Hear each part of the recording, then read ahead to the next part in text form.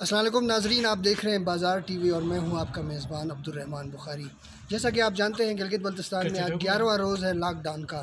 اور پچھلے جو موسم سرما گزرا ہے، یہ بھی بچے جو ہیں وہ گھروں میں رہے، اسکول سے چھٹیاں رہیں۔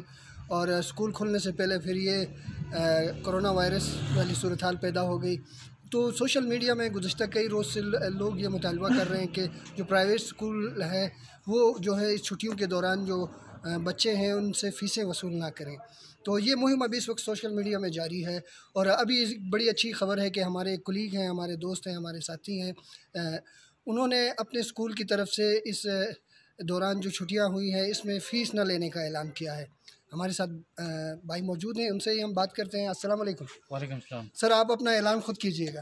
جی بخاری صاحب کیونکہ ابھی حالیہ ایک وبا پھیلی ہوئی ہے جس کی وجہ سے پورا شہر پورا ملک اس وقت لاک ڈاؤن کی صورتحال میں ہے اور اس دوران کیونکہ میں نے یہی سوچا کہ اب تمام کاروباری مراکز دفاتر سب کچھ بند ہیں تو میں نے یہی سوچا کہ ہمارے جو اسکول میں اپنا ایک ادارہ چلا رہا ہوں ایمبیسڈر مونٹیسی اسکول کے نام سے تو میں نے یہی فیصلہ کیا کہ اس موجودہ حالات کے تناظر میں میں جو بچوں کی جو فیسز ہے، جو رواں مہینے کی مارچ کا مہینہ گزر گیا اور ابھی اپریل کا مہینہ نہ جانے، یہ سلسلہ کب تک چلے گا؟ تو میں اپنے اسکول کی جو بچوں کی جو فیسز ہے، وہ معاف کرنے کا اعلان کر رہا ہوں۔ اور انشاءاللہ جیسے جیسے دعا ہے کہ یہ جو حالات ہے جلد سے جلد اس کو یہ کور ہوں۔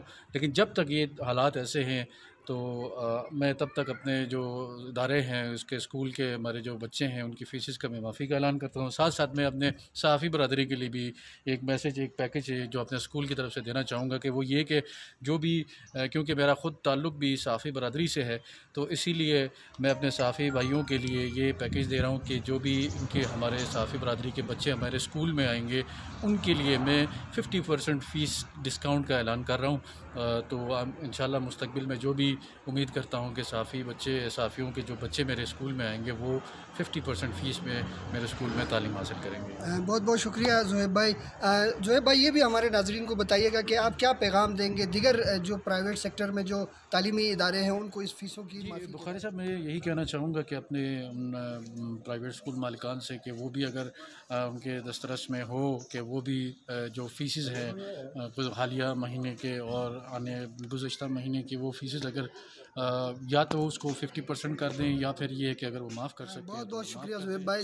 بالکل ضرورت اس چیز کی ہے کہ جو لوگ متاثر ہو رہے ہیں ان کے ساتھ بھی تعاون کیا جائے جو پرائیویٹ سیکٹر میں تعلیمی ادارے ہیں ان کو مضبوط بنانے کے لیے حکومت کو بھی تعاون کرنے کی ضرورت ہے۔